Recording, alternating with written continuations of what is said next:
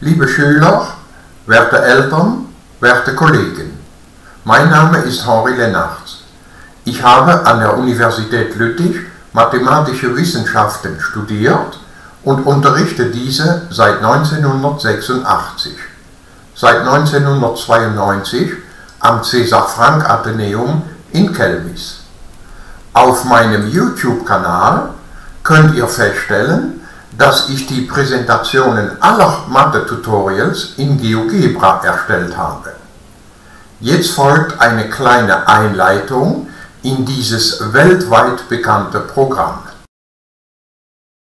Wenn man GeoGebra zum ersten Mal öffnet, so präsentiert es sich mit diesen zwei Fenstern, das Algebra-Fenster und das Grafikfenster, das Geometriefenster.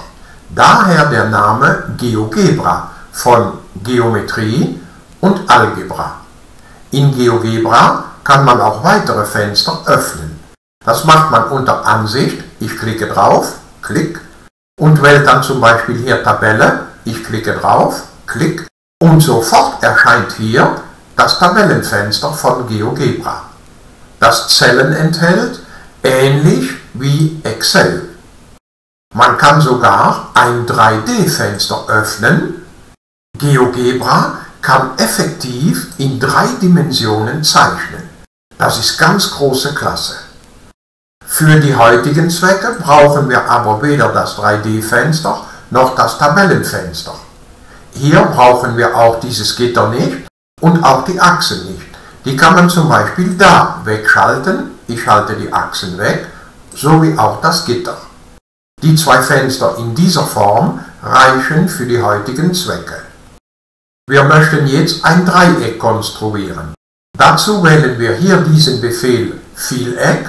Ich klicke drauf, klick und so entsteht dort ein blauer Rahmen. An diesem blauen Rahmen ist zu erkennen, dass dieser Befehl aktiviert ist.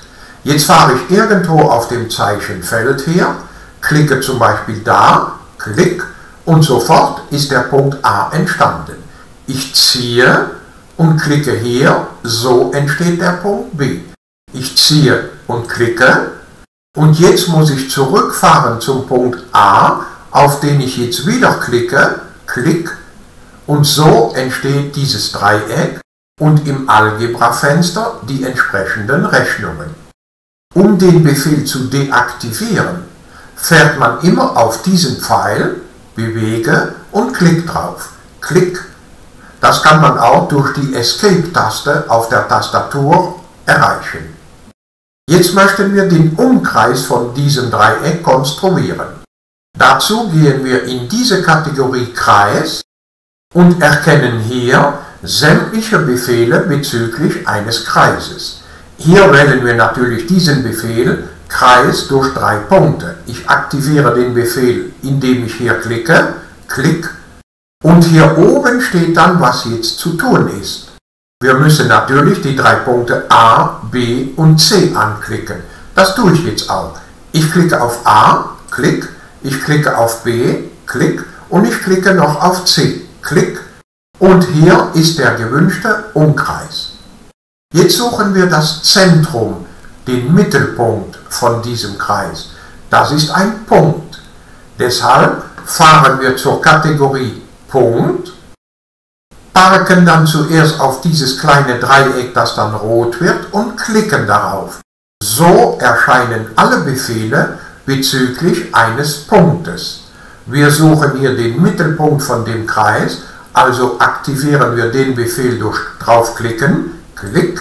Der Befehl ist jetzt aktiv und jetzt wählen wir einfach den Kreis aus. Ich klicke auf Kreis, Klick und so ist der Mittelpunkt von dem Kreis entstanden. Wir deaktivieren den Befehl wieder durch Bewege, Klick und jetzt kommt's. Ich fahre jetzt den Punkt A über dieses Feld. Das heißt, ich ziehe den Punkt A und wir sehen hier, dass der Umkreis sowie auch das Zentrum von dem Umkreis dementsprechend mitfahren. Sie bewegen sich mit. Also sind all diese Objekte miteinander verknüpft. Und dieses Mitbewegen dieser verknüpften Objekte, das nennt man die dynamische Mathematik. Wir konstruieren jetzt noch die drei Höhen von dem Dreieck ABC. Dazu wählen wir diesen Befehl aus. Ich aktiviere ihn durch draufklicken. Klick. Jetzt klicken wir auf A und auf die gegenüberliegende Seite. So entsteht sofort die erste Höhe. Der Befehl ist immer noch aktiv. Also klicke ich jetzt auf B, Klick, und auf die gegenüberliegende Seite. Klick. Dasselbe machen wir für C, Klick und die gegenüberliegende Seite. Klick. Und voller Freude stellen wir fest, dass die drei Höhen sich in einem selben Punkt schneiden, was wir aus dem Mathematikunterricht wissen. Ich deaktiviere den Befehl wieder durch Bewege, Klick, der Befehl ist jetzt deaktiviert. Jetzt konstruieren wir oder zeigen wir diesen Schnittpunkt, das ist ein Punkt. Deshalb gehen wir hier auf Kategorie Punkt, rotes Dreieck, Klick. Wir suchen hier den Schnittpunkt von zwei Höhen. Also aktiviere ich den Befehl Schnittpunkt. Klick. Wir suchen zum Beispiel den Schnittpunkt der Höhe F, Klick, und der Höhe G. Klick da entsteht er, dieser Schnittpunkt E. Wir deaktivieren den Befehl. Jetzt bewegen wir nochmal den Punkt A und stellen fest, dass der Punkt E sich dementsprechend mitbewegt. Nehmen wir einmal an, wir bräuchten jetzt die drei Höhen nicht mehr, sondern nur diesen Punkt E. Dann kann man diese drei Höhen einfach ausblenden. Das kann man hier zum Beispiel im Algebra-Fenster machen hier sind die drei Höhen f, g und h. Alle Objekte sind versehen mit einem blauen Punkt. Wenn ich hier auf den blauen Punkt für f klicke, klick, dann sehen wir, dass die Höhe f ausgeblendet wurde. Sie ist nicht gelöscht, sie ist nur ausgeblendet. Ich blende sie nochmal ein, so, und mache jetzt einen Rechtsklick auf diese Höhe, Rechtsklick, und wähle hier Löschen. Löschen. Jetzt ist diese Höhe f gelöscht. Sie ist auch hier nicht mehr zu finden. Aber jetzt ist der Punkt E mitgelöscht. Das wollte ich eigentlich nicht. Ich bräuchte den Punkt E noch. Also machen wir diesen Befehl löschen rückgängig.